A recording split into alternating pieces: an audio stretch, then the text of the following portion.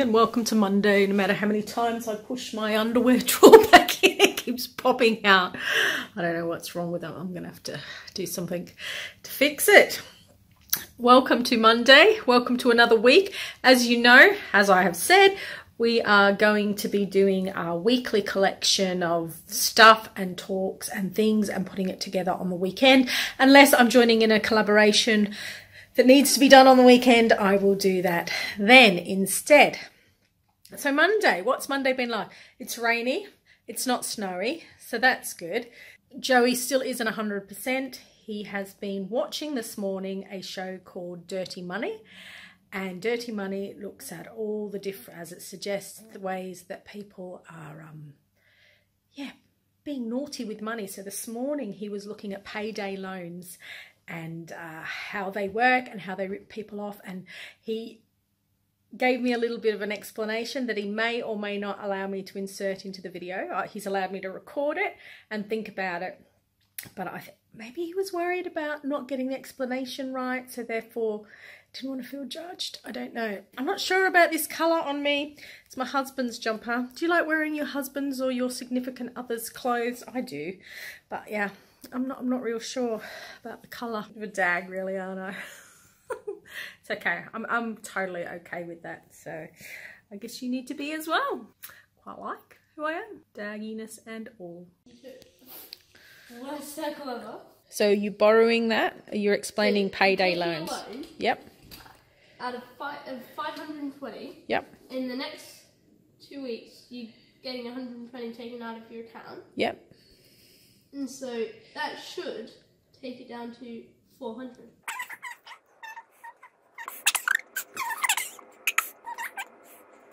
You'll remember if you watched it, my 25 things that make me happy vlog last weekend. Well, this funny guy, this clown, Oh, just made my lunch and uh, I don't know whether you, oh puppy dog, if you remember the butter was one of my things that made me happy. This is what, I've just come to get my lunch and this is what I found.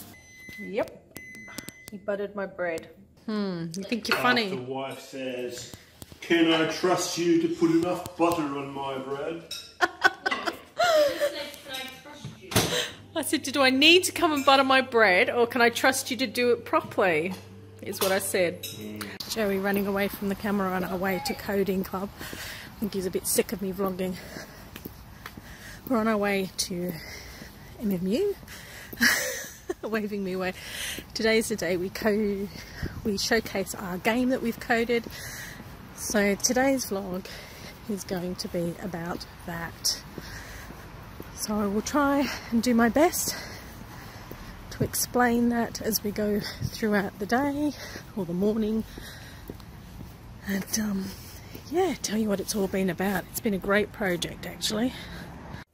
Hello, welcome to Wednesday. So we've done Monday, very short Monday. We have done Tuesday, which is really just going to be about our game showcase. We also went trampolining yesterday. Joey does a trampolining class in the afternoon. Very selfishly, don't always like to record at these things because I spend the time chatting with friends.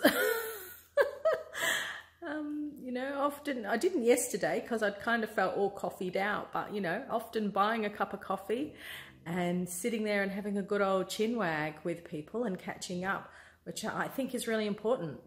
I find more and more at home ed things that they're becoming drop-in events and that takes the social element out of it for the parents as well, which I think is isolating if they are the only events that you ever go to as a parent. For me, those times as a home ed mum or a home ed parent are really crucial to battling those feelings of isolation, making the time in my week to have deep and meaningful conversations with with people that like that kind of thing too i think is really important i've often said as a home ed mum but i think it's true of every environment that you're in you need people around you that when the going gets tough can sing your heart back to you So the quote actually says that when the going gets tough, you need friends around you who can sing the song in your heart when you've forgotten the words. I think is the general gist of the quote. I know I'm not quoting that correctly. And I think that that is really true. When the going gets tough in no matter the arena of life,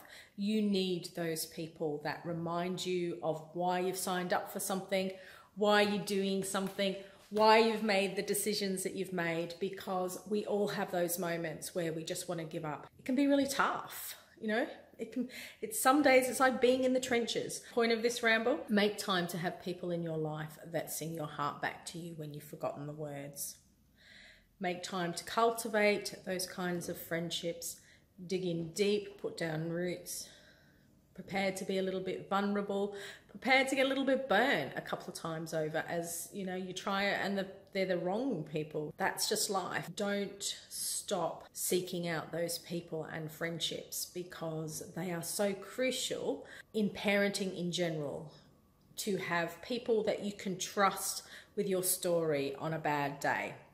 And no, just because your child has done X, Y, Z, just because your husband has done or your partner or your wife or whoever has done xyz that that doesn't make them a bad person doesn't make them a terrible person. It's not a desperate situation necessarily. Might be some days. But they can be trusted with your story.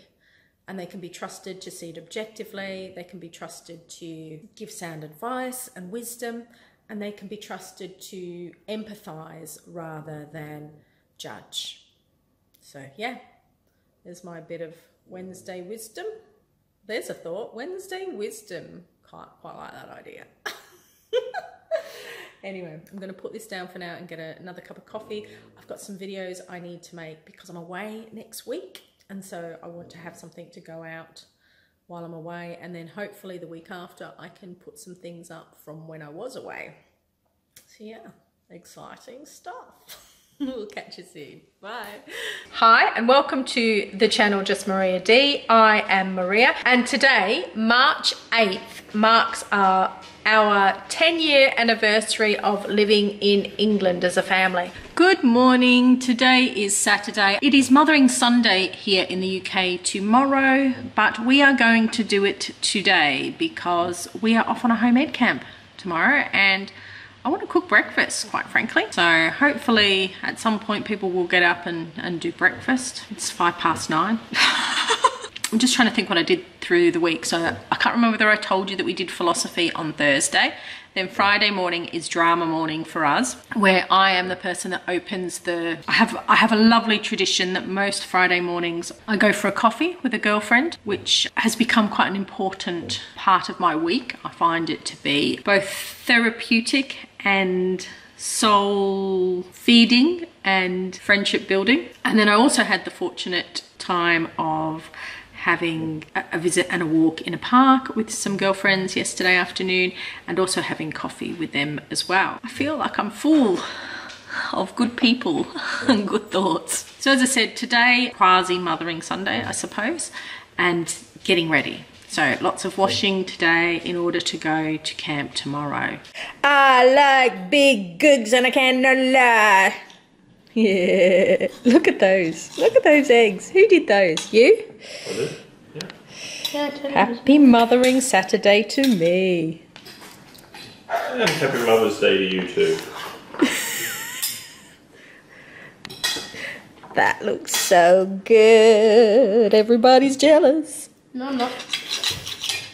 My breakfast brings the boys to the yard. Maybe not, hey? Oh, hello. Walk down the stairs, out of breath. Oh my gosh, I need to do something about my fitness.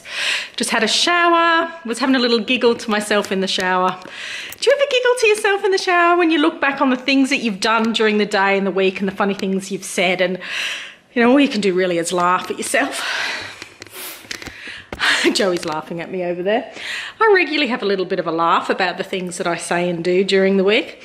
My friend Leonie on Facebook posted a quote by one of the popes actually about not taking ourselves so seriously. And uh, yeah, I think, you know what? I can't remember the last time I took myself seriously. I wonder why. I wonder why. Because I just do such ditzy things all the time, and um, you know, I just am who I am. So anyway, that's what I was doing, having a little giggle, giggle in the shower. I can't even remember about what now. But you know what? I actually find that to be quite a healing thing as well because I think self-examination is good. Like I think that being mindful of who we are and the things we say and the footprint we leave on the world is a good thing. But getting all pent up about that and wrapped up about that is not a good thing in terms of we need to be able to have a bit of a laugh at ourselves and we need to be able to forgive ourselves. And for me, part of having a laugh at myself is part of the process of forgiving myself sometimes as well. So Anyway, that was not what I wanted to come downstairs and talk to you about at all. I've literally jumped out the shower, thrown on my dressing gown because I wanted to come and talk to you before I forgot what I wanted to talk to you about, which was Gina, gorgeous thing, you, Gina Walters, go and check her out. Thank you for a shout out, was so unexpected, so deeply humbled by that. I know that it was wrapped around the fact that we have a similar journey in that you moved to Australia 10 years ago and I moved to England. But yeah, I, I just wanted to take the time to say thank you. I am a person that gives energy where there is energy. If I meet a brick wall with people and there's no energy, very rarely do I push through that brick wall anymore. But you have the most beautiful energy and I love the reciprocal nature of your energy that you don't take anything for granted and anyone for granted. And, and I just think that that is such a great trait in a person. And so I just want to say, not only thank you for the shout out, but being the amazing, sunshiny, energetic, reciprocal, beautiful woman that you are in the world. Yeah, wish you all the best with your journey, wherever it shall take you, and for however long. I get to be a part of that. Thank you for being you in this season of my life. It's appreciated. Second thing, our neighbours put their house up for sale. Our neighbour has put her house up for sale.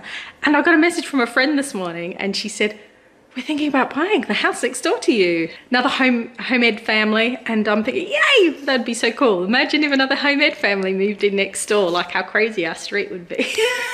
Regardless of who moves in next door, it's a whole new season, and um, yeah, I'll be sad to see our neighbour go. She's a lovely lady, really humble, lovely lady with a heart of gold. And it will be sad to see her go. But um, yeah, interesting times, hey?